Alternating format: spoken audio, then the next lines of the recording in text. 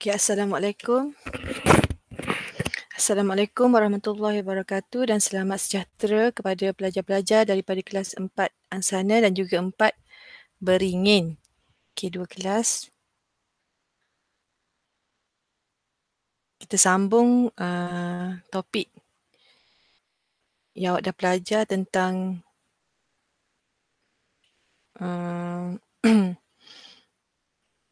tentang uh, placenta kan, uh, fungsi placenta. okay, uh, cikgu uh, sambung kat sini ya. Sistem peredaran darah. Eh sebelum tu, cikgu nak tengok mikrofon dah on ke belum? Sebab ada kelas form 5, cikgu terlupa nak. Uh, okay dah. Okay, uh, fungsi, uh, uh, sebelum ni kan cikgu dah bagi tahu awak uh, placenta ni adalah uh, terdiri daripada kapilari darah uh, fetus dan juga darah ibu. Ha, dia berada berdekatan macam ni. Tapi dia tak bercampur. Bayangkan jari-jari cikgu ni adalah kapilari. Ini pun kapilari. Satu kapilari daripada ibu. Satu lagi kapilari daripada fetus. Jadi dia berada dekat macam ni. Dekat sangat. Ha, macam tu. Tapi tak bercampur. Okey, kedua-dua darah ibu uh, tak bercantum. Ha, tak bercantum. Kedua-dua darah ibu dan darah fetus tidak bercampur. Kenapa? Sebab dia tak bercantum kan? Kerana dipisah dan juga dipisahkan oleh lapisan membran nipis. Ha, exam tulisan ni lah lagi tepat. Ha, dipisahkan oleh lapi, uh, lapisan membran nipis. Antara dua ni ada satu lagi uh, membran nipis macam ni. Ha, macam ni. Bayangkan ni membran nipis. Okey, dia macam ni. Okey, ciri ini Ciri ini adalah penting untuk uh, pertama untuk melindungi fetus itu sendiri daripada sesetengah bahan kimia yang berbahaya uh, seperti toksin dan bakteria yang boleh meresap masuk ke dalam darah fetus. Okay, yang kedua menghalang salur darah fetus yang halus daripada pecah akibat uh, tekanan daripada ibu dia sendiri, tekanan darah daripada ibu dia sendiri. Maksudnya tekanan darah fetus dia sendiri punya. Yang ibu, ibu sendiri punya tak bercampur. Menghalang pengaglutinan ni adalah dalam bahasa Inggeris ya, dia BM kan. Agglutination. Atau penggumpalan, ha, clotting ni, blood clot. Okay, penggumpalan, uh, clumping, ha, clumping, clotting, blood clumping. Penggumpalan darah daripada berlaku dalam fetus kerana kumpulan darah fetus mungkin berbeza daripada kumpulan darah ibu. Kita ada empat kumpulan darah.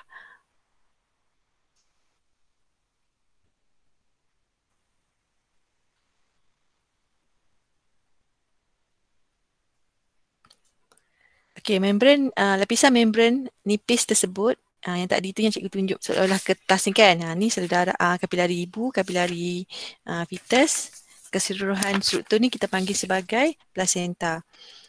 Ha, membran nipis tersebut tidak dapat menghalang. Ha, walaupun bagaimanapun dia tak dapat juga menghalang uh, resapan beberapa bahan da- bahan seperti dadah atau ubat uh, alkohol serta asap rokok yang diambil oleh ibu. Sebab itulah ibu mengandung dia kena berhentilah pengambilan uh, benda-benda yang kita nyatakan tadi. Virus seperti HIV Okay. HIV itu virus. AIDS adalah penyakit.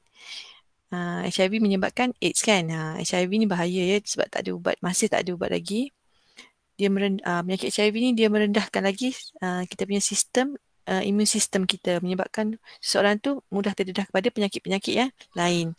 Okay, virus seperti HIV dan rubella. Rubella ni penyakit awak pernah dapatkan suntikan rubella.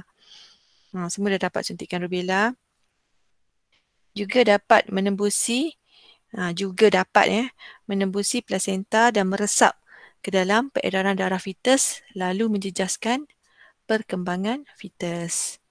Okey, kepentingan plasenta. Okey, plasenta ialah tapak pertukaran bahan antara fetus dan ibu di mana um, apa bahan tercena seperti glukosa, asid amino, hormon, antibody dan oksigen. Okay, benda-benda yang bagus lah semua kan yang berguna, yang berguna uh, antibody dan oksigen beresap dari darah ibu ke dalam kapilari darah fetus. Manakala pada masa yang sama bahan-bahan yang tak yang fetus tak nak lah katakan kan yang dia tak nak okay, karbon dioksida dan bahan buangan bernitrogen seperti urea meresap dari kapilari darah ibu uh, darah fetus dihantar balik ke ibu dia untuk disingkirkan. Plasenta juga bertindak sebagai organ endokrin yang merembes hormon semasa kehamilan. Ingat lagi tak? Ha, dia gantikan uh, corpus luteum. Okey, pada bulan keempat kehamilan, korpus luteum akan merosot dan tidak lagi merembeskan progesteron. Progesteron ni penting untuk ketebalan, untuk mengekalkan ketebalan endometrium. Apa itu endometrium? Endometrium ialah dinding uter, uterus. Okey, apa yang placenta buat? Placenta akan menggantikan korpus luteum tadi sebab dah bulan keempat dah tak ada dah korpus luteum dan menghasilkan progesteron dan estrogen dua-dua sekali uh, ingat uh, progesteron, ingat estrogen kan yang awak menari tu. Ha. EP kan? E, EP ha, macam tu. Uh, estrogen, progesteron yang diperlukan untuk mengekalkan ketebalan endometrium.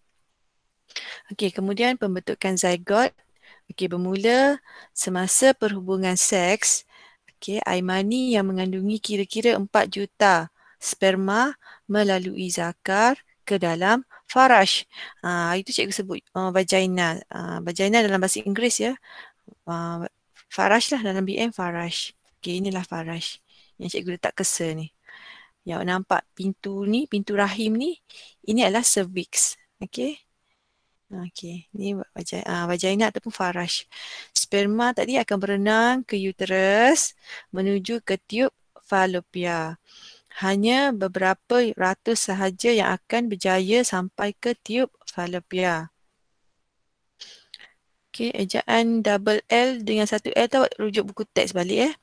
Hanya kira-kira 50 sperma. Ha, hanya ha, hanya 50 sahaja yang akan mencapai osit sekunder dan melekat uh, pada permukaan osit sekunder.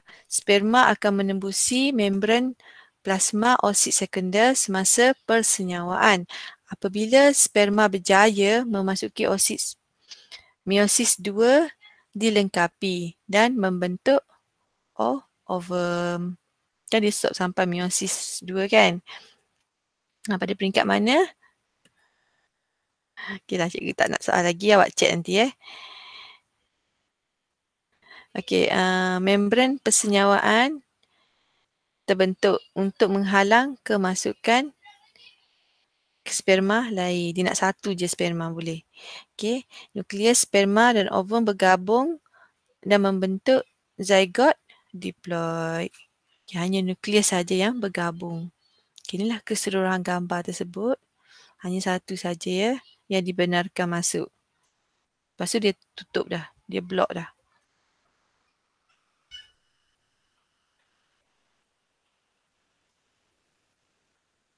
Awak boleh tengok YouTube eh macam mana cara uh, osit sekunder tu dia bina satu membran yang akan block uh, sperma tu daripada masuk. Nanti cikgu uh, cari kalau cikgu jumpa cikgu uh, send dekat punya telegram. Okay ni uh, keseluruhan gambar tadi awak tengok yang pertama start daripada pengovulan. Okay hari ke-14 kan. Okay pengovulan dibebaskan, osit sekunder dibebaskan. Okay, yang nampak macam bunga ni, ni adalah corpus luteum. Maksudnya bermula daripada sini ke sana. Okay, dan uh, persenyawaan dekat uh, tube falopia. Okay, zygote 2N. Kenapa 2N dah diploid? Sebab ada homologous kromosom. Sebut je homologous kromosom, maksudnya pasangan homo pasangan kromosom daripada paternal dan maternal. Okey, dah bermula dengan hari pertama macam ni, dah jadi dua sel. Hari kedua dah jadi berapa sel? Empat sel. Hari ketiga dah jadi lapan. Hari keempat dah banyak bertambah. Bertambah sampai tu dia turun. Macam mana dia turun? Sebab adanya silia dalam tube falopia yang akan menolak. Ditolaknya uh, zygote tadi ke bawah. Dan hari kelima, hari keenam.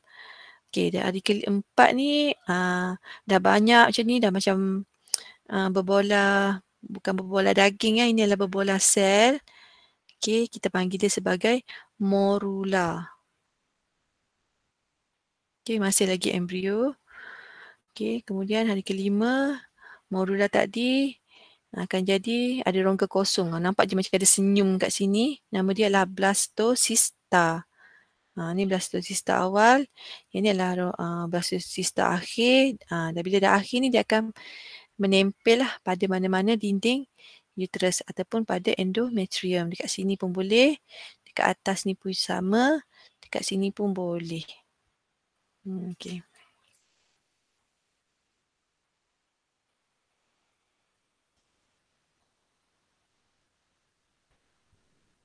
Ini adalah penempelan.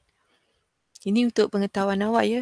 Ada uh, sesetengah ibu kan dia uh, bila bersalin dia kena caesar, caesarean.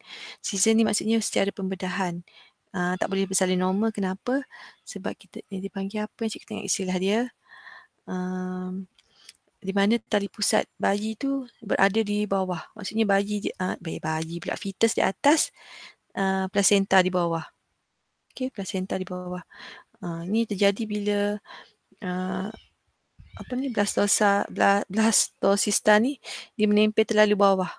Okey jadi dia blok sepatutnya fetus lah kat dulu barulah jadi dia bolehlah keluar melalui uh, cervix ni kan fetus tadi. Tapi kalau uh, placenta dulu dia macam blok lah blok. Uh, itu bahaya. Dia kena melalui pembe pembedahan.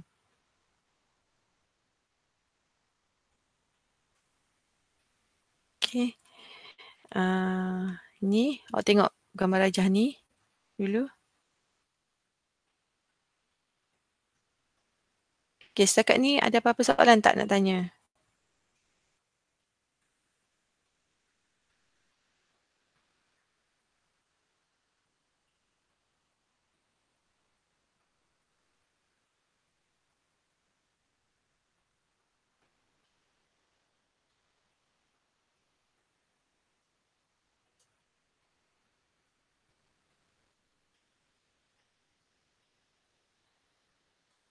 Tak ada cikgu. Cikgu tak ingat nama. Trivia, trivia macam tu nama dia.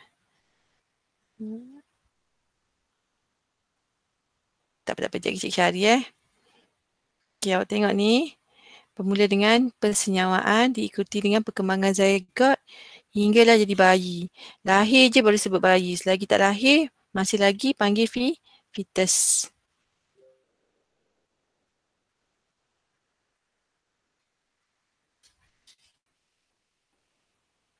Okay, awak baca ni kat tepi ni. Cikgu tak jumpa cari. Okay, sekejap eh.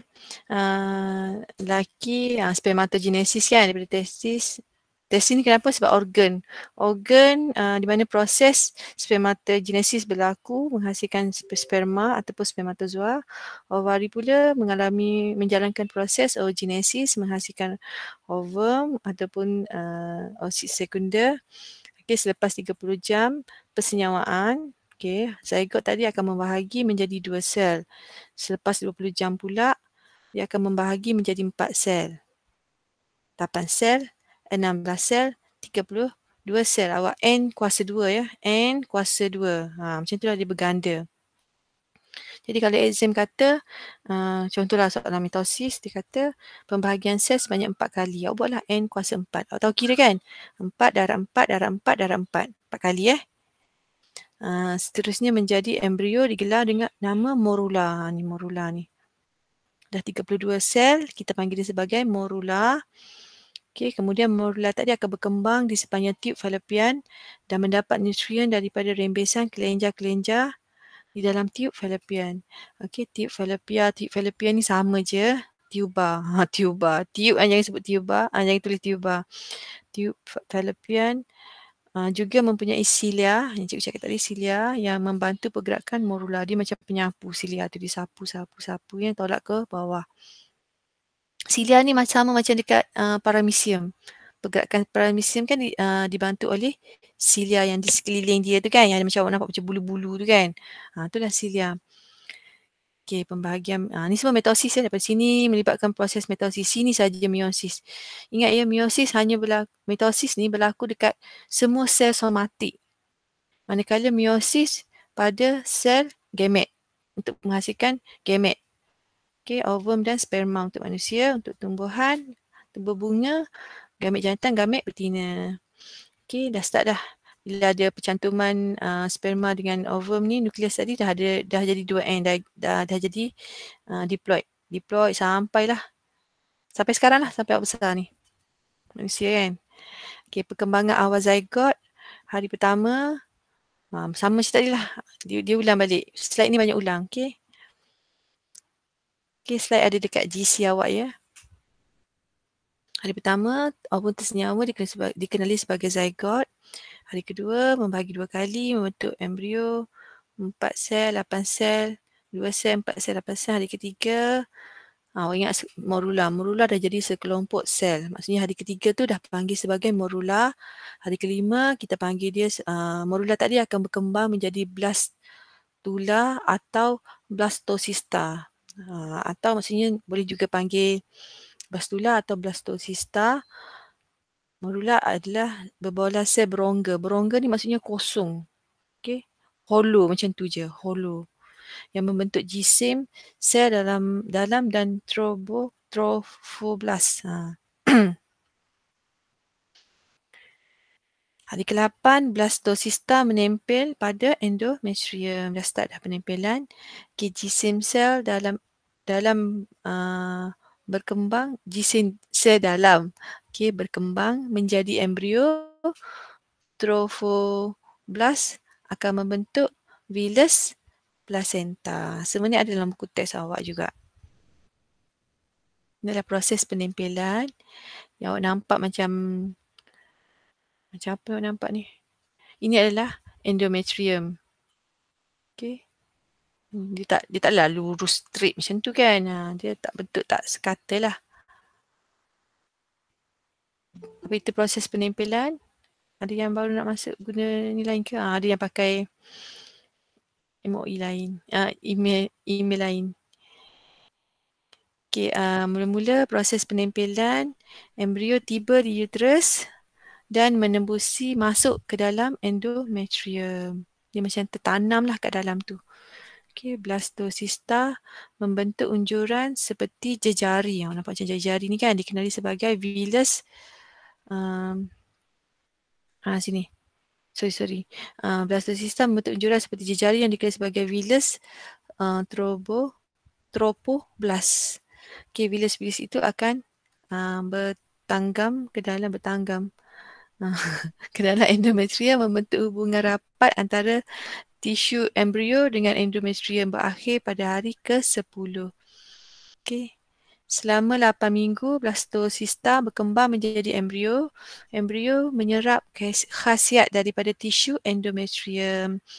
Minggu ke-9, embrio kini dikenali sebagai fetus. Mendapat uh, nutrien daripada placenta. Okay, sama juga lah gambar saja ya untuk awak familiar lagi bila exam. Implantation tu maksudnya penempelan. Okay, sama je. Sebut uh, blastosis. Okay, ejaan, just, ejaan sahaja yang lain. BM dengan BI. Ni ovari ya, warna putih ni. Ha, nampak meletup pecah tak adalah pecah dia hanya membebaskan ha. ovulasi ya. Ovari membebaskan uh, osit second second jangan tulis ovari pecah pula eh. Okey, uh, sudut info ada sudut info dah pula. Sudut info ni maksudnya tak tak ada masuk exam pun.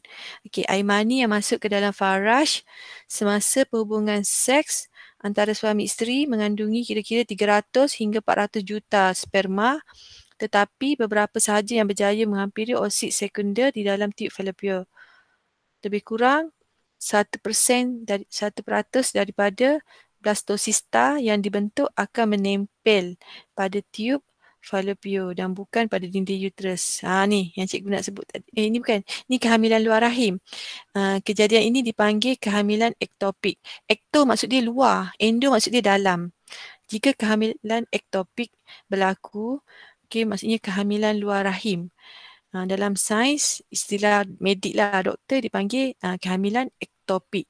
Maksudnya bukan di dalam uterus yang sepatutnya, di luar uterus iaitu di tiub fallopian boleh berlaku. Percentage tu tetap ada ya. Kebarangkalian mendapat risiko untuk dia tak turun ke bawah tu. Satu persen.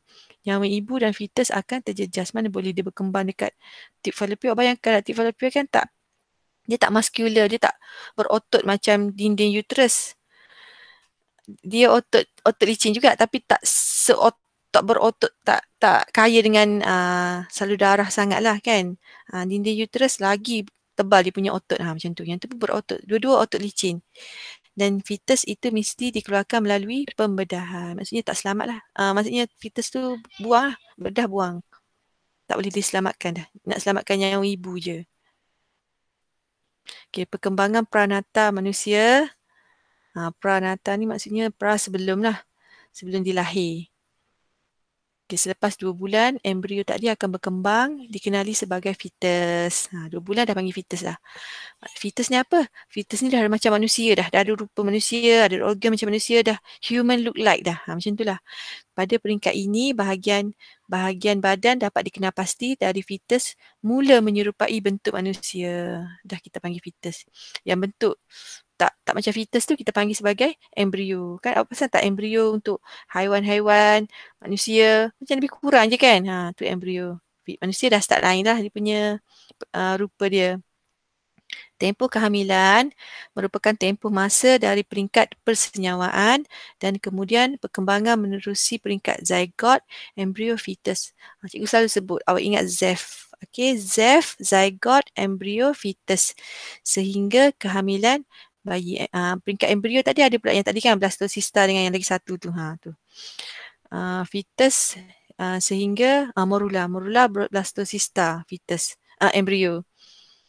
Okay uh, fetus sehingga kehamilan bayi biasanya tempoh kehamilan adalah 40 minggu. Uh, 40 minggu bersamaan dengan berapa bulan? Biasa 9 bulan kan? Ha, uh, 9 bulan. Uh, okay. Uh, fetus berkeupayaan untuk hidup sendiri jika dilahirkan selepas 28 minggu.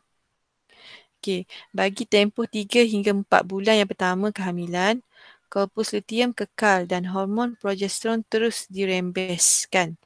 Rembesan progesteron yang berterusan memastikan perkembangan uterus perkembangan uterus kekal lah maintain. Dinding endometrium tadi maintain tebal.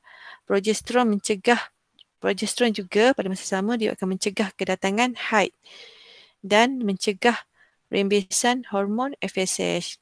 FSH ni kan dia akan matangkan lagi um, uh, apa panggil uh, osid yang lain. Ha, mematangkan follicle stimulating hormone kan dia mematangkan uh, follicle-follicle lain.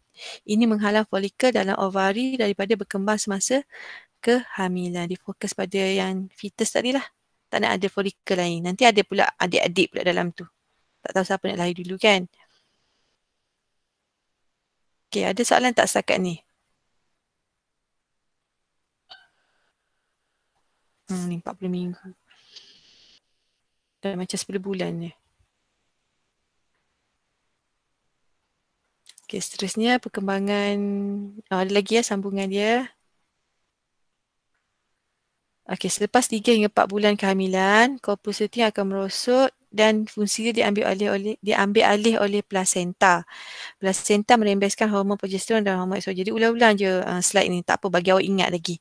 Okey, semakin hampir uh, tempoh 40 minggu kehamilan ni maksimum. Biasa 9 bulan 10 hari kan. Ha, dah 10, bu 10 bulan dah ni. Aras estrogen dan darah semakin meningkat sehingga aras progesteron semakin menu menurun. Tu dekat-dekat nak nak nak bersalin lah kan. Oh tanyalah uh, tanya mak. Jangan tanya ayah biasanya tanya mak. Uh, mak awak awak sendiri berapa minggu lahir? Uh, ada yang 38, ada 39, ada yang 40. Okay, and lebih 40 pun ada.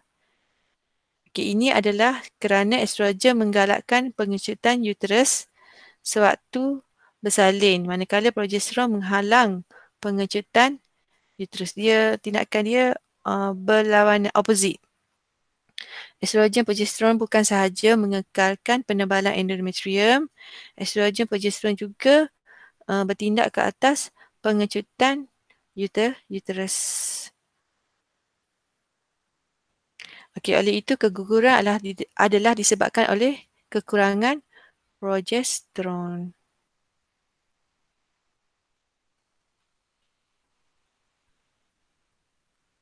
Macam salah je ni. Sebab estrogen menggalakkan pengecutan uterus.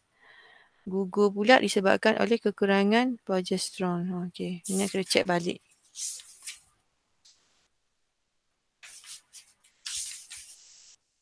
Ada yang boleh bagi cikgu jawapan tak?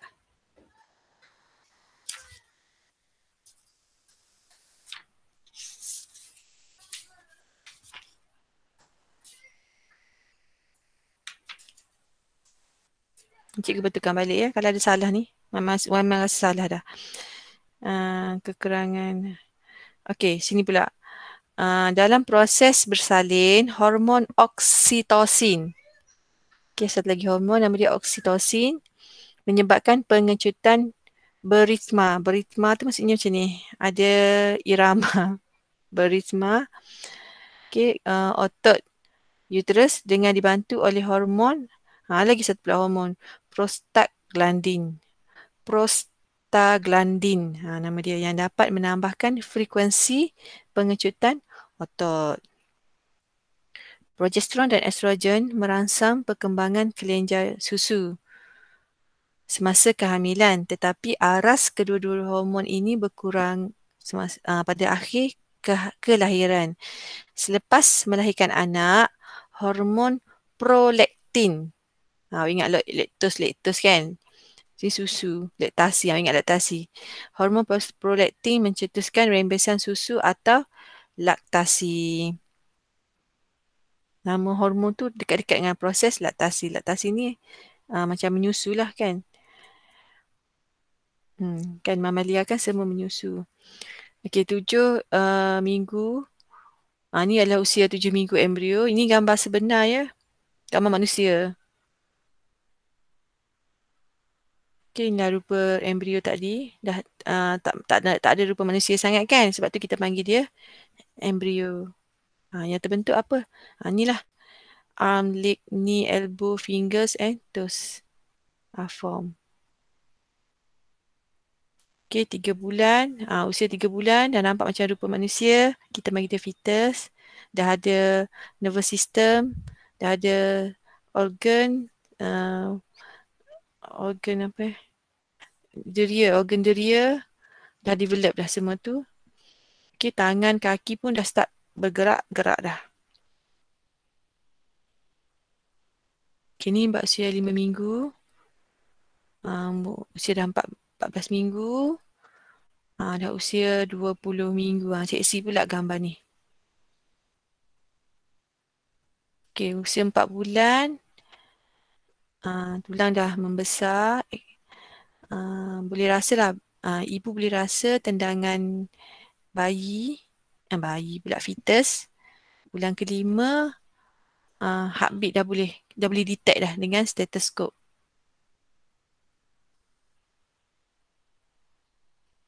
Ah, dah lahir dah. Baby is born. Okay, dah lahir dah. Awak dah ni semua ya. Okay, estrogen. Ah, ni tadi yang tadi. Estrogen. Progest, uh, estrogen, oxytocin. Uh, lagi satu hormon nama dia. Prostaglandins apa yang estrogen, estrogen dihasilkan daripada ovaris dirembes daripada ovaris okey dia akan uh, merangsang eh induce oxytocin receptor on uterus okey awak jumpa kat sini positive feedback apa yang oxytocin ni buat oxytocin ni akan uh, stimulate uterus to contract. Ia akan merangsang uterus untuk menge- mengecut. Okay, mengecut. Uh, dan juga dia juga stimulate uh, merangsang placenta tadi untuk menghasilkan prostaglandin. Apa yang prostaglandin ni buat? Prostaglandin ni juga hormon yang akan uh, stimulate pula merangsang uh, lebih banyak uh, pengecutan uterus lagi banyak uterus pengecut lagi banyak pula oksitosin dihasilkan. So itu adalah positif feedback. Mekanisme suap balik positif. Okay, uh, posterior, posterior, anterior. Posterior belakang eh, pituitary ada dua bahagian. Bahagian anterior dengan bahagian posterior. Pituitary ni ada, ah, ni ada gambar pituitary. Uh, Sekejap lagi cikgu tunjuk awak dah. Uh, pituitary, uh, dia ada kat dalam bahagian otak. Dekat bahagian otak kan ada bahagian-bahagian dia. Ada satu bahagian tu nama dia pituitary. Macam uh, kacang tu kan. Okay, uh, bahagian anterior menghad, meng, menghadap ke muka mata awak. Okey, menghadap ke muka. Macam inilah rupa dia. Satu menghadap ke muka, satu lagi menghadap ke belakang. Ke belakang kepala. Belakang leher. Ke sana. Itu adalah posterior. Anterior ke depan, posterior ke belakang. Okey, so bahagian posterior tu yang akan merembeskan oksito, oksitosin. Okeylah kelahiran, proses kelahiran. Uh, dia melibatkan uh, dilation. Okay, dilation maksudnya cervix tu akan terbuka lah, mengembang, terbuka. Cervix ni kan pintu, dia macam pintu rahim lah ha, macam tu.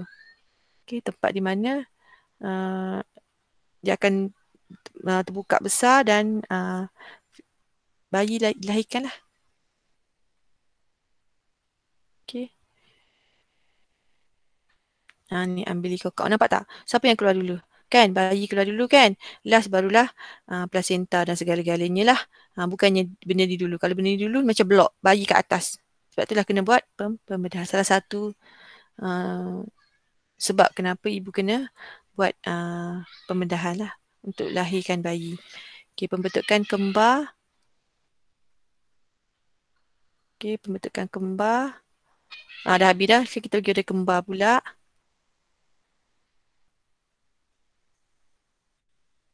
Okey, kembar uh, memerihalkan, uh, ni topik-topik dia.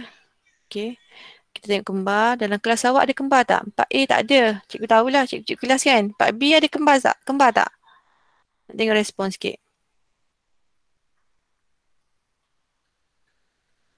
Ada tak kembar 4B? Tak ada. Awak yakin tak ada? Kembar nama ada kan? Ada 4A dengan ada 4B.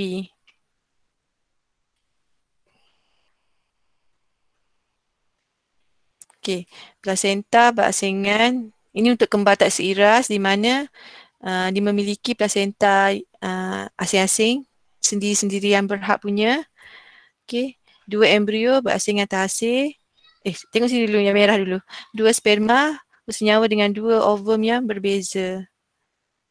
Maksudnya pada masa yang sama uh, ov ovari uh, membebaskan dua ov, uh, oksid sekunder secara serentak. Ini untuk kembar dua lah. Kalau kembar tiga, tiga lah. Kembar empat, empat lah serentak. Okey, kembar seiras pula. Ha, macam abang handsome ni. Nampak tak dua-dua lelaki? Yang ni berbeza jantina. Maksudnya kembar tak seiras sama ada sama jantina atau lain jantina. Sebab apa? Sebab dia kan daripada uh, ovum yang berbeza, sperma yang berbeza. Manakala yang ni daripada yang sama, sumber yang sama. Takkan seorang lelaki sama perempuan pula kan? Ha, kalau lelaki dua-dua lelaki, kalau perempuan pun sama, dua-dua perempuan. Jantina yang sama. Satu sperma bersenyawa, uh, apa benda ni? Tak nampak. Dengan satu ovum. Ha, satu sperma, satu ovum. Kemudian uh, embrio tadi akan membahagi kepada dua. Ha, jadi dia ber, satu placenta dikongsi oleh dua fetus. Itulah kembar sei, seiras. Jadi DNA dia, genetik kedua-dua ni adalah sah, sama, 100% sama. Yang ni pula tak sama. Okay, genetik dia tak sama.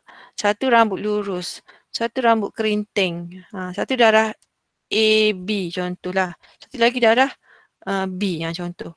Yang ni pula darah sama. Darah A dua-dua darah A. Kalau darah B pun sama dua-dua darah B. Okey, ciri-ciri sama. Yang ni nampak gemuk cikgu. Yang ni kurus cikgu. Ha, yalah, yang ni gelap sikit cikgu. Yang ni putih sikit. Kan? Ha, yang ni nampak uh, tinggi sikit. Ini nampak rendah sikit. Sebab uh, ini variasi ya. Variasi ni ada dua jenis. Satu selanjar dengan tak selanjar. Uh, selain daripada faktor genetik, uh, variasi ke dipengaruhi oleh faktor uh, persekitaran. Ha, ini disebabkan oleh faktor persekitaran pula lah yang jadikan dia macam ni. Mungkin dia ni suka pergi main uh, rugby dekat padang. Ha, dia ni mamak baca buku dekat library. Ha, macam tu lah. So kurang terdedah pada matahari. Ha, contoh lah. Ha, yang ni makan banyak sikit sebab tu badan dia lebih besar sikit kan. Ha, itu faktor lain pula awak belajar nanti. Okay, pembentukan anak kembar pula apabila dua embrio terbentuk mereka dikenali sebagai anak kembar. Apa cik baca ni? Eh. Membentukkan anak kembar. Apabila dua embrio terbentuk, okay, mereka dikenali sebagai anak kembar. Ah ni dua ni lah. Okay. Ni dia. Maksudnya yang biru ni adalah kembar. Kembar sei, seiras. Satu lagi kembar tak seiras. Ha ni kembar seiras lah. Sebab apa? Awak tengok sini. Kat, uh, pertama cara nak, nak tengok gambar rajah ni awak tengok daripada kalau dia bagi ovum dengan sperma awak tengok sini satu je kan ha satu je lagi satu awak tengok ni placenta ada berapa kalau ada satu macam ni dikongsi tali pusat asing-asing lah kan ha placenta uh, kongsi jadi ialah kembar seiras yang warna kuning ni pula adalah kembar tak seiras Okay, next. Anak kembar seiras. Anak kembar seiras. Oh, anak yang anak kembar seiras pula macam ni. Ha, samalah. Okey, daripada satu tadi. Okey. Hasil persenya ah budak ni. Hasil persenyawaan antara satu ovum dengan satu sperma untuk membentuk satu zygote. Satu kemudian zygote akan berkembang menjadi embrio. Embrio tadi akan membahagi kepada dua embrio yang berasingan kepada uh, pada peringkat awal perkembangan embrio. Maksudnya sebelum penempelan lagi. Okey. Uh, dua embrio akan uh, dua embrio itu akan berkembang lalu membentuk dua fetus yang berasingan di dalam uterus ibu. Walaupun fetus itu berkongsi satu placenta, mereka mempunyai tali pusat dan kantung amnion yang sendiri. Ha, kantung amnion. Tahu kan kantung amnion yang ada cecair amnion dalam tu.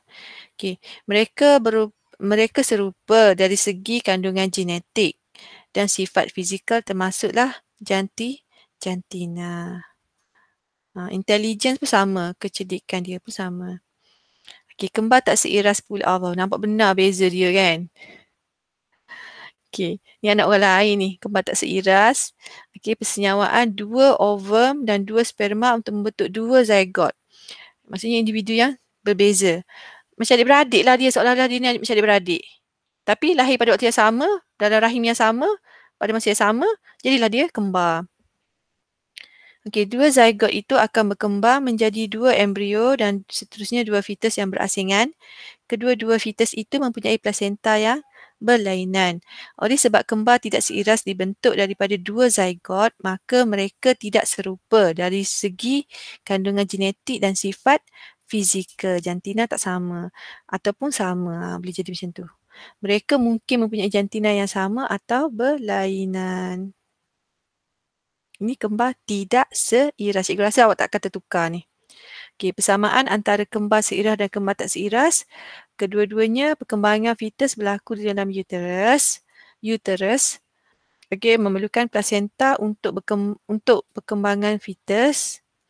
Fetus mempunyai tali pusat. Uh, fetus uh, fetus menerima oksigen dan nutrien daripada darah ibu. Bahan kumuh daripada darah fetus disingkirkan melalui darah ibu. Darah ibu terpisah daripada darah fetus. Yalah, uh, pernah dengar kan bayi tabu uji kan?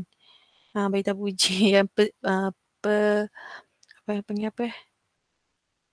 Persenyawaan. Persenyawaan berlaku dalam petri dish tu kan. Dalam dish petri tu. Okay. Dan tabu uji ke dalam dish petri. Kemudian bila dah berjaya jadi zygote. Uh, dia akan uh, masukkan ke dalam rahim ibu untuk proses penempelan. Ataupun uh, ibu dia sendiri ataupun ibu tumpang. Maksudnya macam-macam mana pun uh, fetus mesti perlukan placenta lah untuk dia berkembang. Placenta untuk dapatkan nutrien dia lah nutrien yang diperlukan dan buang bahan kumuh. Tak boleh selamanya bayi tabu uji tu hidup dalam tabu uji je ha, macam tu. Ha, kan cerita Mak Saleh kan banyak macam berangan sikit kan. Okay. Perkembar, perbezaan antara kembar seiras dengan kembar tak seiras. Okay, yang pertama, exam nanti awak boleh jawab macam ni. Tulis je tajuk, kembar seiras, kembar tak seiras. Okay, buat dua kolom macam ni. Jangan ada tiga ya, dua sahaja kolom. Dan pastikan ayat yang lengkap. Kalau awak kat sini awak nak bandingkan uh, hasil persenyawaan, sini pun hasil persenyawaan. Tak boleh tiba-tiba sini hasil persenyawaan, sini awak cerita pasal kembar, uh, pasal jantina pula. Walaupun poin awak tu betul tapi sebab awak tak tak membandingkan, jadi awak tak dapat markah. So ruginya teknik menjawab peperiksaan SPM. Hasil persenyawaan satu ovum dengan satu sperma membentuk satu zygote. Ha, ni sebaliknya lah. Dan tak semestinya kita letak perkataan tidak-tidak ya. Ha, kan awak tulis hasil persenyawaan satu ovum dengan satu sperma membentuk satu zygote. Kat sini awak letak perkataan tidak je. Awak ulang balik perkataan ni. Hasil persenyawaan tidak satu ovum dan tidak satu sperma membentuk tidak satu zygote. Tak semua uh, perkataan tak semua uh, jawapan kita boleh letak perkataan tidak. Bila awak letak perkataan tidak, awak tak ada markah. Sebab kat sini, sama ada dia ada istilah dia yang tersendiri ataupun awak boleh nyatakan terus. Macam sini kan satu ovum, sini dua ovum. Uh, satu sperma, dua sperma. Satu zygote, dua zygote. Uh, tu baru ber- betul. Ha, ni kan embrio membahagi menjadi dua. Kat sini boleh embrio tidak membahagi. Ha, ni, ha, ni, ni boleh. Kat sini boleh letak perkataan tidak. Sebab dia tak jadi dua kan. Okay, uh, ni satu placenta dikongsi oleh dua fetus. Uh, setiap placenta mempunyai, oh, nak tak tidak pun boleh sini. Tidak dikongsi pun boleh. Tengok, tengok situasi juga. Macam mana nak tahu kalau ada istilah tu guna istilah. Nah, ini kan uh, kandungan genetik sama, yang ini tidak sama. Uh, okay. Ini jantina dia mungkin sama atau beza. Ini jantina adalah sah, sama. Okay, pembentukan kembar siam pula. Kembar siam terbentuk apabila pas um, apabila pembahagian embrio dalam kembar seiras. Ha, dalam kembar seiras je berlaku secara tidak lengkap. Walaupun dua fetus terbentuk daripada embrio namun ada bahagian fizikal mereka yang masih melekat. Okay, lazimnya dada, abdomen atau punggung. Kembar siam mungkin juga berkongsi satu atau dua organ dalaman. Ini bahaya sikit ya. Kehidupan pasangan kembar siam agak agak sukar kerana mereka sentiasa bersama, melekat bersama. Mereka juga tidak mempunyai masa untuk bersendirian. Tak ada masa nak me time. Okey, pergerakan mereka juga terbatas disebabkan keadaan fizikal mereka. Awak tengok keadaan, awak tengok gambar ni lah. Awak nampak dia pun macam, kan macam seksanya rasa kan. Ha, tapi dia macam enjoy je dua orang ni kan. Ada pasangan dia. Kebanyakan kembar siam mati sebelum dilahirkan atau mempunyai jangka hayat yang pendek selepas dilahirkan. Kepastian mungkin boleh dapat dipisahkan melalui pembedahan. Tengok pada situasi. Kalau organ dalaman macam bercantum pada bahagian otak. Macam nak pisah jantung pada bahagian organ uh, jantung. Satu je jantung, kongsi jantung yang sama. Tak boleh juga kan? Walau bagaimanapun, kejayaan pembedahan bergantung pada bahagian yang terlekat pada dan juga organ dalaman yang dikongsi.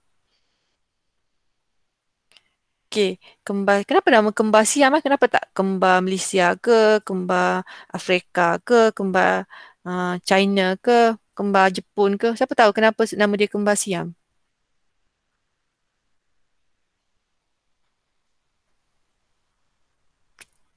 Ah, ni kes pertama kan dari Thailand. Betul. Pandai awak Ciu. Eh Ciu, ah bagus Ciu. Okey, kembar Siam. Uh, oh jangan jawab exam kembar Thailand pula eh. Uh, kembar Thailand bukan istilah, kembar Siam istilah dia, istilah sains. Semasa pembentukan anak kembar seiras, pembahagian atau satu embrio yang tidak lengkap boleh berlaku. Kejadian ini jarang berlaku dan uh, adalah secara spontan. Hal ini, jika hal ini berlaku, dua embrio yang masih terlekat antara satu sama lain pada bahagian tubuh tertentu, misalnya kepala, punggung, perut akan terbe terbentuk. Nah, ini adalah perbandingan dia lah. Cikgu rasa cikgu tak payah baca, awak boleh tengok nanti nota. Sama je. Cikgu ulang-ulang benda yang sama je. Okay.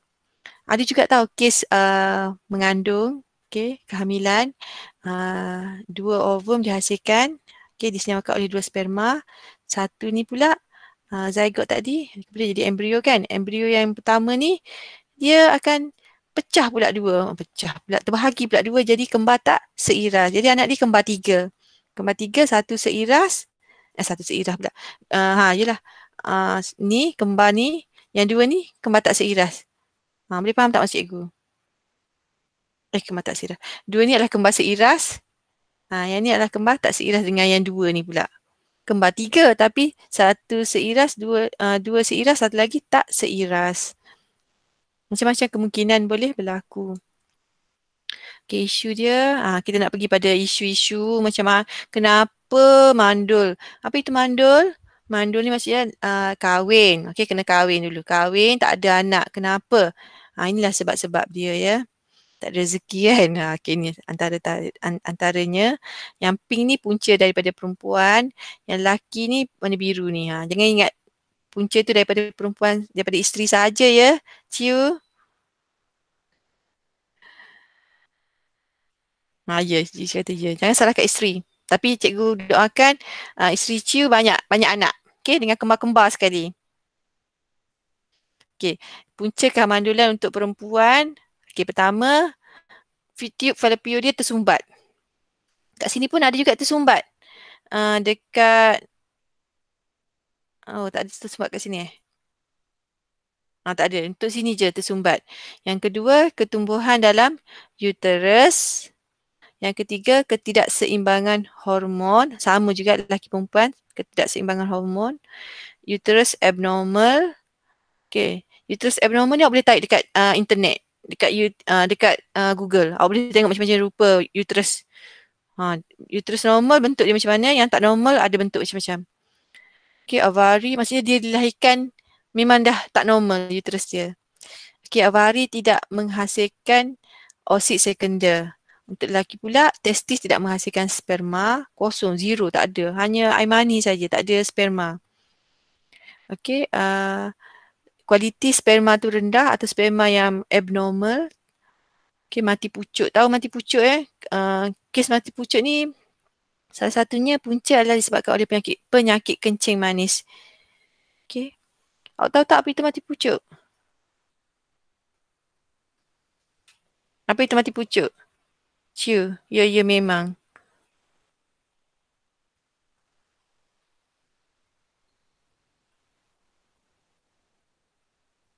Siapa-siapa nak bagi respon dekat chat, apa itu mati pucuk?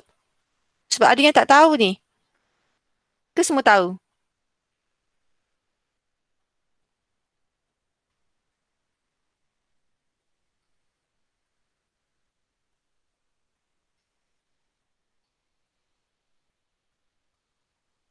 Senyap je. Aiman Syahir. Apa itu mati pucuk? Boleh buka mikrofon. Salah. Farah kata apa? Unable to produce sperm. Salah Farah. Sasah Farah tak tahu. Okay, siapa lagi nak bagi jawapan? Apa itu mati pucuk? Dalam BI istilah mati pucuk, pucuk ni import, important tak saya cikgu? Important. Apa yang tak boleh berfungsi? Ya betul. Zakar kan dia boleh uh, panggil apa eh? Ko, uh, contract eh? Erect, erect. Ah, uh, erect. Tapi dia tak boleh erect. Itu adalah mati pucuk. Bahasa Inggeris important tak silap. Bukan important ya, important. Itu adalah satu sebab juga. Uh, biasanya dah dah berum, dah ni lah disebabkan penyakit dia lah, penyakit kecil manis tu salah satu punca. Sebab tu kena elakkan kecil manis ya. Okey, bilangan sperma juga kurang. Okey. Teknologi sekarang, teknologi moden berkaitan dengan pembiakan. Uh, harapan lah bagi harapan. Bukan harapan palsu ya, harapan betul kepada pasangan suami isteri yang tidak dapat anak. Dia teringin nak ada anak. Yalah dah kahwin mesti nak tengok uh, orang yang produk macam muka dia kan. Ha, nak tengok juga. Okey, kemandulan disebabkan oleh tiub falopio yang tersumbat, sperma yang tidak, ah, ni samalah sperma yang tidak normal dan kerosakan pada organ pembiakan. Uh, faktor-faktor faktor-faktor ketidakseburan adalah kita haid yang tidak teratur. Okay, tapi jangan risau ya. Tak semestinya kita haid yang tidak teratur tu tak dapat anak ya. Tak tak tak semestinya macam tu. Uh, ramai kawan-kawan cikgu yang ada juga uh, yang cik, kenalan cikgu lah yang kita haid tak teratur tapi okey ada anak. jangan risau. Okay, tiub falopia tersumbat, endometriosis.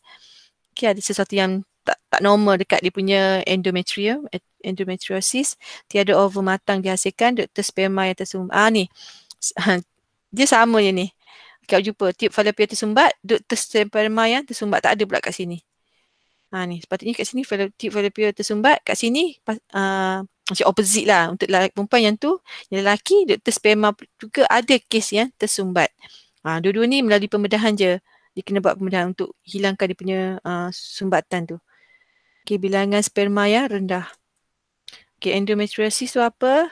Ha, inilah uh, uterus atau rahim ditutupi dilitupi dengan lapisan tisu yang dipanggil endometrium. Tisu endometrium tumbuh hanya di bahagian dalam rahim tetapi kadang-kadang ia tumbuh di luar rahim juga. Okey, biasanya dalam organ-organ pembiakan, ha, ia tumbuh dalam ovari, dalam tube fallopian, tube fallopio atau dalam kes yang jarang berlaku ia tumbuh pada usus kecil, dubur atau pundi kencing. Keadaan ini dipanggil sebagai endometriosis. Ia tumbuh pada tempat lapisan tisu tadi tumbuh pada tempat yang tidak sepatutnya. Sepatutnya dekat dinding uterus sahaja. Keadaan semasa ha-, haid, lapisan uterus ini dikeluarkan melalui faraj. Tetapi darah daripada tisu endometrium yang tumbuh di luar rahim tidak mempunyai tempat untuk dia keluar nak macam mana pun dia akan gugur, tiba masa dia akan luruh kan.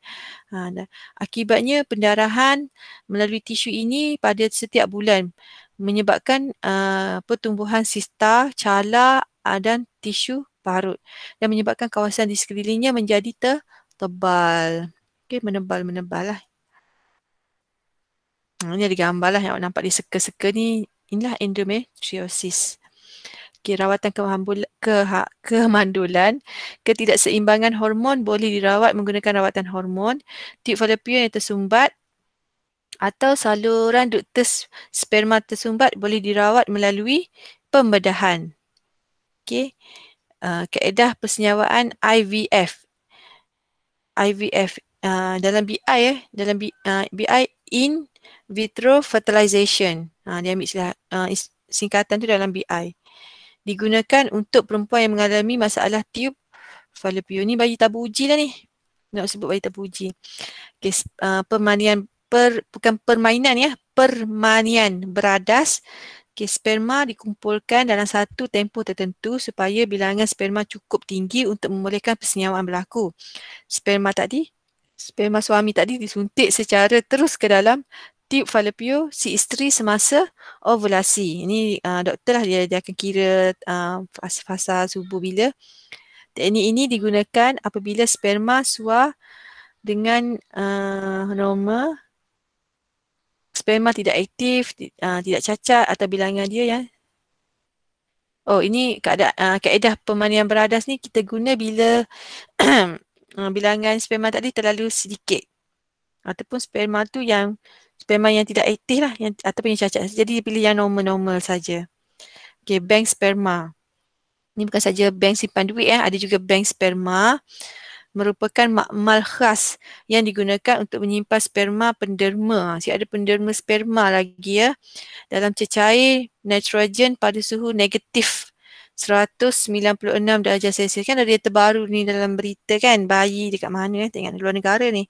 Uh, bayi uh, embrio, embrio, ha, bukan bayi, embrio. Bukan, spe, bukan sperma, eh. embrio tu disimpan da, uh, paling lama lah, macam rekod 27 tahun. Ha, sebelum ni 26, ni 27 tahun. Ha, macam mana otak sperma, otak embrio tu beku sekali kan.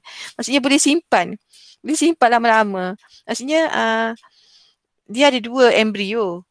Okay, embrio kakak dengan embrio adik. Embrio kakak ni digunakan dulu. Lahir dah. 27 tahun kemudian, uh, embrio adik yang dibekukan tadi digunakanlah dimasukkan dalam uh, uterus ibu tumpang ataupun uterus ibu dia sendiri. Uh, lahir pula adik. 27 tahun kemudian barulah lahir adik dia. Maksudnya boleh simpan ya uh, teknologi sekarang lah. Uh, kepesatan uh, teknologi. Okay, biodata genetik penderma direkodkan supaya mana-mana wanita yang ingin membeli sperma. Ni bukan dekat Malaysia ni. Confirm luar negara ya. Ha, nak macam mana? Nak K-pop ke? Nak wajah macam mana? Boleh. Boleh memilih kualiti sperma yang dikendaki lah. Okay, sperma yang dipilih kemudiannya disuntik ke dalam salur fallopian semasa pengovulan. Okay. Persenyawaan in vitro. Persenyawaan in vitro bermaksud persenyawaan yang berlaku di luar. In kan nak rasa dalam kan? Tapi dia di luar. Maksudnya dalam apa? Dalam petri dish lah. Ha. In vitro adalah persenyawaan di luar badan organisma dalam keadaan yang terkawal dalam makmal. Cara ini digunakan apabila tiub falopia isteri tadi tersumbat dan seterusnya menghalang persenyawaan oleh sperma. Bayi yang dilahirkan disebut sebagai bayi tabung uji ataupun test tube baby. Pasangan suami isteri juga boleh menggunakan ovum daripada penderma penderma lain. Tapi kalau ambil daripada penderma uh, ovum maksudnya uh, genetik dia tak tak ikut genetik isteri dia lah. Ikut genetik penderma tu. Okey. Uh, inilah kaedah dia ya, kaedah uh, tadi bayi, ta, bayi tabu uji ataupun IVF. Ovum isteri dikeluarkan daripada ovari. Uh, maksudnya persenyawaan luar. Uh, ini bukan pemandian beradas ya, pemandian beradas tadi. Uh, ini disuntik kan. Uh, ini suntik terus. Pemandian beradas, sperma tadi disuntik terus ke dalam sala falopio. Yang ini pula IVF ni tak dikeluarkan juga dua-dua sekali. Persenyawaan tu dia benarkan berlaku di luar. Dalam mana? Dalam tabuji ni. Ha, sebab tu nama dia bayi tabuji. Okay. Uh, ovum isteri dikeluarkan daripada ovari dengan menggunakan jarum penyeduk seni khas laparoskop untuk mengeluarkan ovum osit sekunder okay, dari ovari sebelum pengovulan berlaku. Ambil direct daripada ovari. Okay. Uh, bukan macam cucuk-cucuk lah. Dia adalah kamera-kamera dia detect mana-mana mana dia scan dulu ke. Okay. Berlaku kadang-kadang lebih daripada satu ovum dikeluarkan daripada ovari isteri lah. Doktor akan keluar lebih lah. Alang-alang yang keluar lebih nak tengok nak test yang mana yang berjaya. Kebarangkali yang tak berjaya tu ada. Tak semestinya 100% berjaya. Ovum disenyawakan oleh sperma suami dalam piring culture, kultur. Ha, piring kultur ataupun dalam kat sini dia buat uh, tabuji uh, pirikultur ataupun battery disk yang awak tengok dekat makmal tu. Okey di bawah keadaan yang sesuai dalam makmal selepas uh, dua setengah hari dua setengah hari dua setengah hari. Macam mana dua setengah hari ni? Dua setengah hari dua hari setengah. Apabila embrio mencapai peringkat 8 sel embrio dimasukkan semula ke dalam uterus melalui cervix untuk proses penempel, penempelan pada dinding uterus. Ini gambar dia. Okay, pemindahan embrio beku. Ha, ni yang cikgu cerita tadi ya pasal 27 tahun tu kan. Okay, melalui persenyawaan in vitro, beberapa embrio dapat dihasilkan sekaligus. Tapi dia orang tak nak bazir, dia orang tak nak buang pun. Sayang lah kan. Nak dapat satu hal susah kan. Okey, proses ni amat rumit lah. Proses rumit dan memakan kos yang tinggi. Jadi, embrio, embrio yang tidak digunakan tadi boleh didingin beku. Uh, bersimpan, frozen dalam nitrogen cecair pada suhu negatif 196 darjah Celsius untuk disimpan bagi kegunaan pada masa akan hadap, masa hadapan pula. Pemindahan embrio beku ke dalam uterus wanita yang inginkan anak boleh dilakukan pada bila-bila masa uh, dia nak. Okey, ibu tumpang. Ibu tumpang ini bukan pengasuh, ibu tumpang. Tumpang adalah cara ini digunakan apabila isteri tidak dapat hamil. Sperma suami dipindahkan ke dalam tiub falopia seorang wanita lain pada waktu subuh dia. Okay, wanita tersebut menjadi hamil apabila ovumnya disenyawakan dengan fetus akan berkembang dalam uterus wanita lain.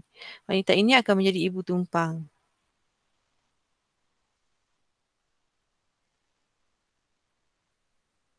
Okay, lagi satu ibu tu. Ini cikgu tak pasti yang ni, nota ni. Tapi yang uh, sebelum ni, uh, pasal ibu tumpang ni, yang tadi ni. Yang ini, uh, ni. IVF ni tak semestinya uh, yang dihasilkan tadi kan. Uh,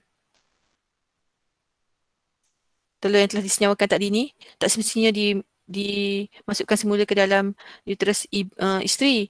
Boleh juga tumpang dekat uterus wanita lain. Nanti ibu tumpang.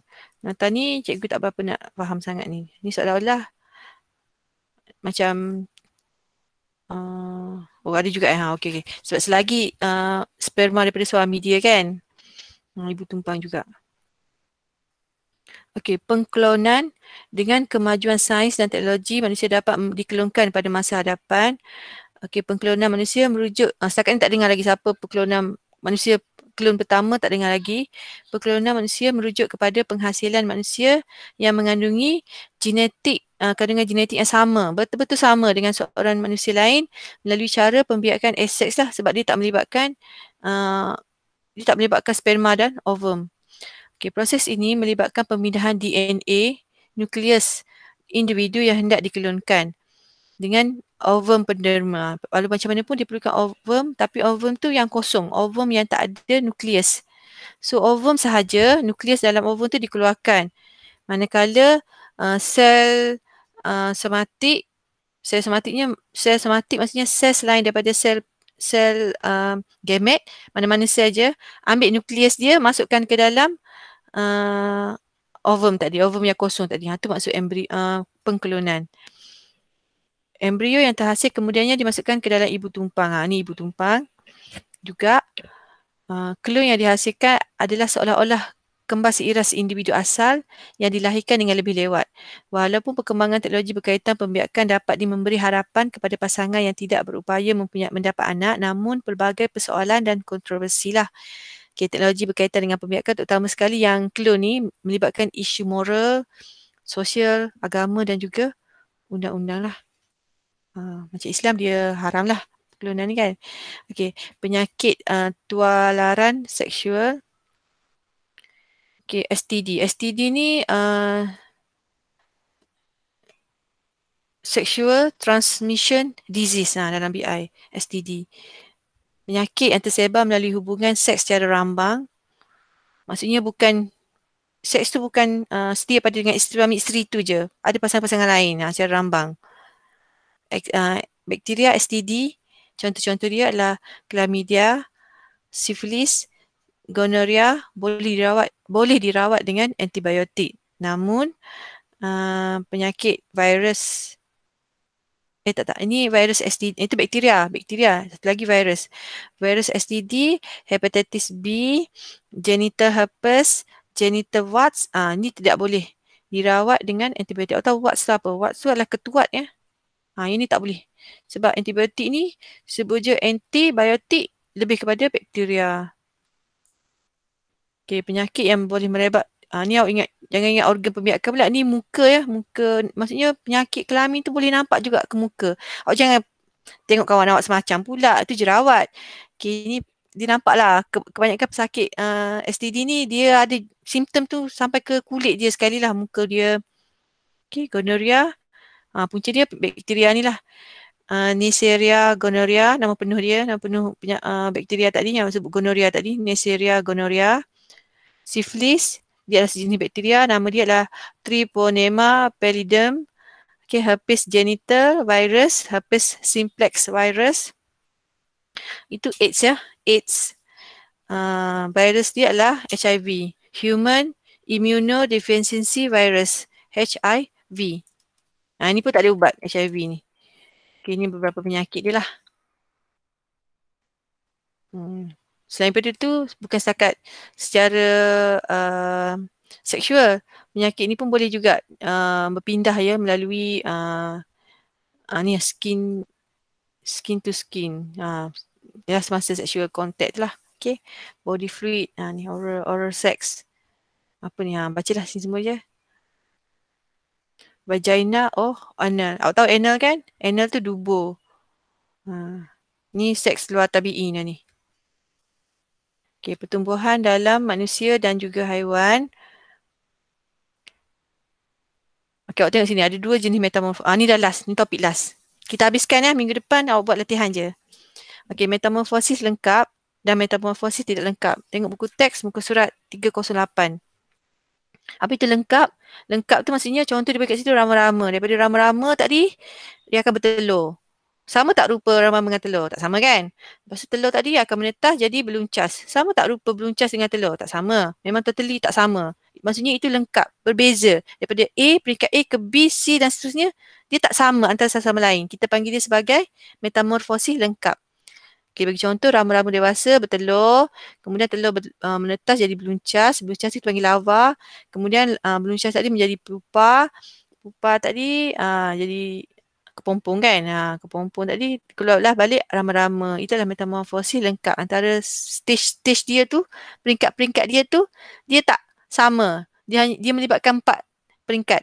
telur, larva, pupa dan juga dewasa. Manakala metamorfosis tidak lengkap, daripada telur, dia, uh, telur tadi menetas dia bagi contoh kat situ uh, belalang. Bila telur belalang dewasa uh, bertelur, telur akan menetas anak tu sama dah macam muka belalang dewasa dah. Dah rupa dia belalang dewasa. Tapi kita tak panggil dia belalang. Sebab saiz dia kecil. Kita panggil dia sebagai nimfa. Nimfa, bukan limfa ya. Nimfa, N. Nimfa yang akan melalui beberapa peringkat nimfa, nimfa, nimfa, nimfa sebelum menjadi nimfa yang dewasa. Iaitu belalang dewa, dewasa. Itulah metamorfosis tidak lengkap. Ingat yang lengkap dia ada empat peringkat. Telur, larva, pupa, dewasa. Yang tidak yang uh, metamorfosis tidak lengkap dia melibatkan uh, beberapa peringkat nimfa.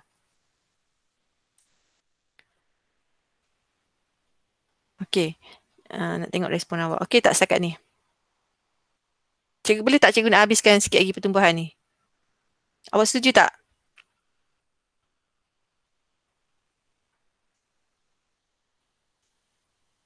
Setuju tak? Ke semua dah lapar tengah hari tak makan lagi daripada pagi? Boleh lah ya. Minggu depan kita tak buat gemik dah. Ha. Cikgu nak buat collage. Ada soalan tanya dekat uh, ruangan chat ni. Cikgu boleh print ni. Cikgu boleh paparkan semula ruangan chat. Cikgu boleh jawab dekat awak punya telegram. Ah, yang minggu lepas lupa nak jawab dan cikgu jawab yang seorang tanya tu. Asmah tu. Okay. Uh, kita nak ukur pertumbuhan manusia dan juga haiwan uh, macam kita nak ukur parameter parameter ni nak nak ukuran dia lah pertambahan saiz atau isi padu contoh dia ketinggian lah senang kita nak dia ada dia ada berapa nilai kan kita boleh measure senang cerita kita, kita boleh measure dia kita boleh ukur dia ketinggian panjang dan juga berat dia berat ada dua ya perubahan jisim kg kan jisim jisim segar atau jisim kering jisim segar ni merujuk kepada or, uh, jisim organisma selepas semua air eh sorry, jisim kering merujuk kepada jisim organisma selepas semua air. Kering lah. Kita singkirkan daripada badan. Okay, cara dia dengan menimbang jisim organisma selepas dikeringkan di dalam ketuhar. Misalnya sudah mati lah ni kan, jisim kering matilah kira. Dikeringkan dalam ketuhar pada suhu 100 darjah Celsius berulang kali sehingga jisimnya tidak berubah. Kita ulang-ulang-ulang-ulang, memang dah maintain dah. Tu je jisim dia. So, ke, jawapan tu lah kita ambil. Okay, kelemahan parameter ini ialah organisma perlu dibunuh. Ha, takkan nak ambil jisim kering manusia yang tengah hidup pula kan. Namun keedah ini sesuai lah untuk tumbuhan. Kita keringkan daun dia apa-apa nak jisim kering berapa kan. Okay. Jisim uh, segar pula. Okay yang ni kita ukur pada bila-bila masa je. Dan organisma tu tak perlu kita bunuh lah. Namun keadaan ini kurang tepat kerana kandungan air dalam badan dipengaruhi dipengaruhi pengambilan air oleh organisma tersebut. So parameter ini diukur untuk satu masa, jangka masa yang tertentu. Ni mesti awak ada idea lepas ni kan nak, nak timbang berat badan pagi-pagi. Ha, jangan minum dulu. Okey, pengukuran pertumbuhan. Pertumbuhan pada organisma multiselular macam kita, multisel boleh dianggap G ya, anggar, anggarkan dengan mengukur beberapa parameter seperti panjang, tinggi, isi padu, jisim segar dan juga jisim kering. Pengukuran jisim basah. Ha, ni ulang ulang yang sama juga. Okay, slide ni suka ulang nak bagi awak faham. Okay, awak tengok. Ha, ni awak punya ada kat sini eh. Metamorfosis lengkap. Ha, tembak tak? Kan, setiap ni, stage-stage ni tak sama. Ada telur, lava, pupa, ha, pupa dan juga dewasa. Nampak? Ha, tak sama. So dia lengkap. Lengkap dengan bentuk dia. Ha, ni lengkap pula dengan bentuk dia. Dalam metamorfosis lengkap. Kemudian yang tadi, lama-lama tadi, dia pun ulang benda yang sama juga. Dia juga akan bertelur dan seterusnya lah. Metamorfosis lengkap. Manakala uh, metamorfosis, metamorfosis ni maksudnya uh, trans, dia meng, meng, mengubah diri dia lah kan. Ha. Yang ni pula dekat manusia tak adalah. Okey, metamorfosis tak lengkap yang ni.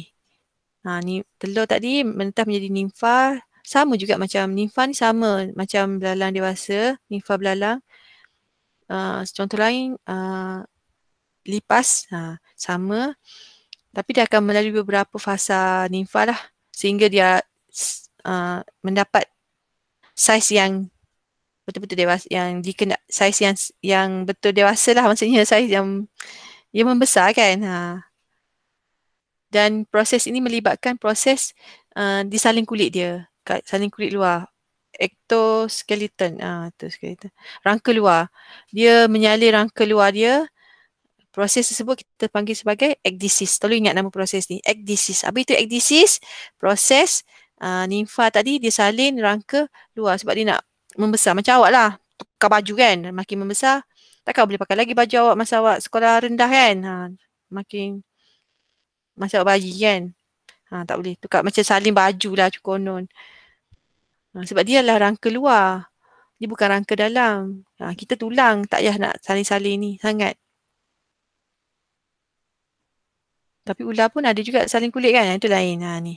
Menyalin uh, rangka luar. Yang penting kata kunci dia adalah rangka. rangka ular dia uh, betulan belakang kan. Vertebra kan. Ha, jadi dia tu, tu, tu lain. Salin kulit tu yang lain. Ha, yang ni. Awak ingat serangka ni. Okay, fasa permulaan. Ha, untuk silibus awak ada tambah lagi satu. Fasa kematian pula. Disuruh ingat mati. Fasa kematian. Fasa permulaan, fasa pertumbuhan pesat, pertumbuhan perlahan-perlahan, kemudian matang, tua, mati tambah lagi satu. Ni memang silibus baru KSSM. Sebelum ni tak ada. Form 3 pun tak ada belajar benda ni kan. Okey, fasa permulaan tu apa? Kadar pertumbuhan adalah rendah kerana melibatkan uh, pembahagian sel dan pemanjangan sel yang sedikit. Merupakan satu fasa penyesuaian dengan sumber baharu yang wujud di persekitaran. Okey, kemudian pesat hijau. Kadar pertumbuhan paling cepat. Uh, pembahagian sel dan pemanjangan sel berlaku dengan aktif. Uh, sel organisma bertambah dengan cepat. Okey, macam fasa awak dia ni, fasa pertumbuhan cepat ni, fasa awak ya. Okey, fasa pertumbuhan perlahan, warna kuning. Uh, kadar pertumbuhan lambat dan berlaku pada kadar yang tetap. Sel mencapai saiz maksimum. Sel mengalami pembezaan yang menghasilkan ke apa tu kerencaman sel. Apa itu kerencaman sel? Ah dia maksudnya di, uh, sel tu dah uh, mengalami pembezaan yang menghasilkan ke uh, sel yang fungsi tertentu, sel tertentu lah maksud dia. Differentiation maksudnya pembahagian sel. Okey, fasa matang uh, organisma mencapai peringkat matang, kadar pertumbuhan ialah sifar Ha, dah matang dah dia tak dia tak drop eh tapi dia maintain macam tu je. Kalau tinggi macam tu tinggi sampai macam tu lah 162 162 je. Tak tak naik tak turun. Sifar kadar pembahagian sel adalah sama dengan kadar kematian sel. Uh, sel kan dia mati kan. Macam sel kulit kita pun dia mati dan dia akan disalin dengan sel baru ya setiap berapa bulan eh. Tak cikgu kita cek balik. Okey, pembahagian sel boleh menggantikan tisu yang rosak atau mati. Manakala fasa penuaan yang warna orange tu, ha, kenapa dia dah dia dah uh, kadar pertumbuhan dia negatif? Ha, kata kunci dia ada dekat sini ya. Kadar pertumbuhan negatif, kenapa? Kata kunci dia dekat sini. Awak tengok yang fasa matang, kadar pembahagian sel adalah sama dengan kadar kematian sel. Manakala kad, uh, fasa penuaan, kadar pembahagian sel adalah rendah dengan kadar kematian sel. Maksudnya sel lagi banyak mati daripada dia daripada uh, tempoh untuk dia digantikan dengan yang baru. Bila sel mati, dia akan gantikan dengan baru. Tapi masalah kat sini untuk fasa negatif ni, fasa penuaan ni dia negatif, pertumbuhan negatif sebab dia lambat nak ganti yang sel baru. Disebabkan oleh faktor umur tua ni lah. Disebabkan, uh, jadi dia pun semakin negatif turun. Tinggi menurun macam tu lah. Okay, penuaan uh, fasa kematian pula disebabkan oleh penuaan, penyakit, kekurangan sumber makanan uh, atau ruang akhirnya menyebabkan kematian organisma. Okey, ini lengkungan pertumbuhan manusia untuk lelaki dan perempuan. Awak tengok ya pada peringkat awal bayi sama-sama ni. Sepatutnya lelaki dia letak warna biru dah kan? Dah keliru dah. Lelaki letak warna pink. Okey, nampak ya pada peringkat awal ni uh, bayi lah daripada kosong, uh, dewan lah hari pertama hmm, sampai umur ni 4 tahun, 3 tahun sama je. Laki budak laki budak perempuan awak tengok sama je masa bayi tu dia punya uh, tinggi dia. Kat sini dia ambil apa ya? Oh, jisim jisim berat badan. Uh, cikgu suka letak tinggi ya sebab tinggi lagi nampak daripada berat kan. Ha, kita, kita abaikan. Awak abaikan jisim berat ni, awak abaikan sini tinggi, ketinggian. Okey, sama je. Tapi pada peringkat sini, okey, laki dah mula meninggi. Kan awak tengok budak-budak umur apa tahun kan? 5 tahun kan? 5 tahun, 6 tahun kan dah, dah dia laki lagi tinggi daripada budak perempuan. Kemudian uh, disebabkan perempuan datang uh, akhir balil awal, datang haid awal, akhir balik untuk perempuan adalah lebih cepat daripada lelaki iaitu umur 10 ke uh, 10 11 uh, ke 12 10 ke 12 tahun. Ha, 10 ke 14 eh. Ha, 10 ke 14 tahun perempuan lebih awal. Lelaki dia start umur 13 eh. 13 ke 16 ke 17 macam itulah. Lelaki lagi lambat. Disebabkan oleh akhir balik tu perempuan sekarang lebih tinggi daripada lelaki. Biasa awak tengok budak-budak form 1 sekarang ni. Kan awak nampak pelajar-pelajar form 1 lelaki, kebanyakannya perempuan lebih tinggi daripada lelaki. Budak darjah 6 pun sama. Budak perempuan lebih tinggi daripada lelaki sebab apa? Disebabkan oleh mereka mencapai akhir balik. Ha, kan perubahan fizikal selepas akhir balik ha, badan lebih tinggi kan. Dan macam-macam lagi lah perubahan dia. Dan selepas tu lelaki pula tinggi bila dia dah capai akhir balik sampai ke sudahlah lelaki akan tinggi. Tengok-tengok abang, abang-abang form 4, form 5 awak sekarang. Abang form 5 awak. Kan tinggi-tinggi semua dah sampai pintu dah. Macam ciu dah. Okay. Fasa pertumbuhan manusia mempunyai dua fasa pertumbuhan. Pantas itu semasa bayi dan semasa remaja. Ha, macam awak lah remaja pantas. Oleh itu lengkungan pertumbuhan menunjukkan dua lengkungan sigmoid. Ha, ni macam roh S ya, tengok biru ni. Kalau awak bayangkan dia macam S yang tak berapa nak jelas. Boleh bayangkan tak S? S itulah sigmoid. Okay, X ha, daripada atas ni ke bawah bayangkan macam huruf, huruf S. Dia adalah sigmoid yang bersambung di atas di bersambung di atas satu sama lain lengkungan pertumbuhan antara lelaki individu lelaki dan perempuan sedikit berbeza yang cikgu olah tadi lah. Okey, ini adalah fasa-fasa dia. Uh, kat sini cikgu rasa ada ada kesalahan sikit sebab nampak tak perempuan lebih tinggi daripada lelaki pada umur dekat-dekat umur 20. Tak, sebenarnya bukan uh, umur sini sepatutnya. Okey, umur 10, 11, 12, 13 uh, perempuan lebih tinggi. Sebab apa? Sebab mereka uh, akhir balik dulu datang haid dulu kan. Ha, pertumbuhan bayi yang ni boleh baca lah. Sama macam tadi. Okay. Boleh baca juga yang ni. Sama je. Cikgu tak baca eh. Ha, ni kat sini dia kata tahu. Menjelang umur budak lelaki mengalami ha, bermula 11 hingga 19 tahun. Budak perempuan mula mengalami pertumbuhan yang mendadak dan mencapai ketinggian lebih daripada budak lelaki. Oh, sampai 19. Okey, budak lelaki mengalami pertumbuhan mendadak kira-kira 2 tahun. Kemudian itu kurang-kurang kira-kira umur 13 tahun. Kira-kira umur 14 tahun, budak lelaki akan mencapai ketinggian dan kekuatan yang lebih daripada budak perempuan. Pada puratanya, tinggi budak perempuan bertambah lebih kurang 17 cm manakala budak lelaki 18, uh, 20 cm dalam tempoh 2 tahun ni. Akan tetapi, ni remaja ya.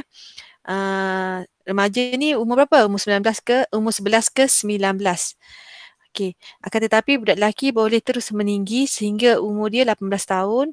Budak perempuan mencapai kematangan lebih awal iaitu kira-kira pada umur 16 tahun. Sebenarnya bukan 16 ya. Lebih pada 10 tahun, 11 tahun kan. Okey, ini pun sama fasa dewasa. Dah tak ada lagi pertumbuhan pada peringkat ni. Okey dia hanya nak ganti je. Fas pertumbuhan tu hanya nak ganti. Dia nak, macam mana nak meningkat sebab dia hanya mengganti sel-sel yang mati kan. Ha, ni penuaan negatif. Di mana uh, selain pada cikgu cerita pasal sel ganti tadi, uh, disebabkan juga oleh otot dan rawan badan yang mula merosot lah. Ha, sel-sel yang mati tidak digantikan secara aktif. Okey, sekarang kita pergi yang terakhir sekali ya. Okey, yang terakhir adalah ekdisis. Ini ya, ekdisis. Proses ekdisis ataupun salin uh, rangka luar tadi berlaku secara berkala. Berkala. Pola pertumbuhan tidak selanjar dan berbentuk tangga ya. Bentuk tangga macam tu. Tangga. Oh ingat bentuk tangga ni. Bentuk tangga ni terus ingat haiwan berang, berangka luar. Okay, ekdisis. Ekdisis berlaku dekat ni. Dekat sini. Kalau exam suruh point kat mana, label kat mana, dekat sini. Dekat bucu ni. Bukan dekat sini ya, dekat sini. Ha, pola pertumbuhan tidak selanjar dan berbentuk tangga. Okey, bahagian mendata. Ini adalah bahagian mendata. Yang cikgu kesa ni mendata. Mendata, menegak. Mendata, menegak. Mendata dan seterusnya lah. Okey, bahagian mendata menandakan pertumbuhan dia adalah sifar, kosong. Pada peringkat ini iaitu instar. Insta serangga tidak mengalami pertambahan panjang badan, garisan menegak, menegak ke atas, mewakili pertumbuhan secara mendadak. Pada peringkat ini, nimfa menjalani edisis dan saiz bertambah dengan cepat. Bila dia dah salin uh, keluar dia, dia cepatlah dia punya pertumbuhan dia tu. Kan? Ha, tu. Sebab tu jadi macam tangga. So tengoklah instar daripada telur tadi jadi instar satu, instar dua, tiga, empat, lima barulah jadi dewasa dah sampai uh, saiz yang dia rasa sesuai lah. Okay, ini sama macam buku awak yang cikgu baca tadi. Sama je. Okay, last sekali. Uh, okay, dengan cara macam ni dia akan uh, menambahkan isi padu uh, badan dia dengan menyedut udara untuk mengembangkan badan. Tindakan ini akan memecahkan rangka luar dan la- yang lama dan serangga dengan rangka luar yang baru akan keluar daripada rangka lamanya. Serangga akan mengembang badannya sekali lagi sebelum rangka baru menjadi ke keras. Okey. Ah ni peringkat-peringkat dia. Ni last ya, kesimpulan lah kira tak. Okey, A ke B adalah peringkat embrio. Maksudnya awak lebih canggih daripada silibus lama sebab awak ada peringkat mati dan juga peringkat embrio fetus lagi. Nampak tak? Dia letak kosong dekat sini. Sepatutnya kosong dekat sini kan? Ha, kosong dekat sini. Maksudnya uh, hari lahir tu dikira hari kosong lah. Lahir je sebagai bayi, hari kosong. Sebelum bayi tu A ke B. Adalah pasal di mana dalam dalam uterus lagi Okay, faz peringkat embrio dan fetus. Okay, B ke C adalah peringkat kanak-kanak ha, sampai umur setahun. Kosong hingga umur setahun. Ini tahun eh. Jisim badan. Awak bayangkan uh, jisim badan boleh, tinggi pun boleh. Cikgu suka bayangkan tinggi. Okay, C dan D kanak-kanak. Kan, cepat kan. Kan awak pun sama, 12 ke 14. Peringkat akhir balik. Uh, e ke F. Ah, macam salah ni. Ni adalah remaja ya. E ke F adalah remaja. Ni peringkat remaja. Ingat ya, uh, slide ni ada banyak juga yang kesalahan sikit. Ada banyak kesalahan sikit. Ada juga banyak kesalahan. Okay. Ekdisis. Uh, ni samalah. Proses penyaringan kulit. Berlaku secara berkala. Semua-semua tu. Uh, ini bukan pertumbuhan bentuk sigmoid ya. Dia adalah pertumbuhan bentuk apa tadi? Bentuk tang tangga kan? Ha ni. Tangga. Ha, cikgu kena stapi semula slide ini sebelum cikgu post yang terbaru untuk awak. Ini bukan sigma ya, tangga. Sebut je edisis ni semua ni adalah tangga lah. Okay. Ha, okay. Dah, baca go through je. Ha, insta semua. Okay, kadar pertumbuhan. Ha, okay, dah habis dah. Okay, sekarang kita dah habis bab 15 dengan jayanya. Okay, untuk soalan uh, di akhir slide ni awak akan ada soalan tau. Soalan ni daripada buku teks awak tapi dia ada pilih-pilih beberapa soalan. Ha, 15.1 apa semua ni daripada buku teks awak ni. Awak jangan buat buku teks tu, awak ikut yang ni. Tapi boleh rujuk buku teks lah. Okay, yang ni, yang ini, dan ini. Ha, ini sampai habis eh sampai habis ni. Ini adalah kerja sekolah awak. Kerja sekolah awak minggu depan. Awak boleh start minggu depan lah. Kalau nak start sekarang bersemangat pun tak apa. Okey, cikgu cadangkan awak start minggu depan. Hari Rabu minggu depan kelas. Awak start yang ni. Uh, dan awak takkan siapnya satu hari sebab dia banyak kan ni. Jadi, awak sambung sepanjang cuti sekolah awak tu. Jadi kerja akhir tahun awak lah ni maksudnya. Dan uh, buat dalam buku. Awak tak payah salin soalan ni. Awak tulis jawapan saja. Uh, nak print pun boleh, tak nak print pun tak apa. Saling uh, jawab, tulis jawapan saja dalam buku latihan biologi awak, buku, buku tulis, exercise book. Ada kan? Uh, jawab yang ni semua. Okay. Kemudian uh, tahun depan, tahun depan kita buka buka sekolah eh, buka sekolah, cikgu akan check untuk uh, kelas cikgu, cikgu hati akan check untuk kelas dia lah. Uh, awak cuma tulis jawapan sahaja. Boleh mula bila? Boleh mula minggu depan uh, waktu biologi lah. Cuma uh, minggu depan cikgu akan bagi link untuk kehadiran saja je. Hmm, ada apa-apa nak tanya? Berasap awak belajar se sejam setengah. Oh, berasap. Okay, ada soalan nak tanya?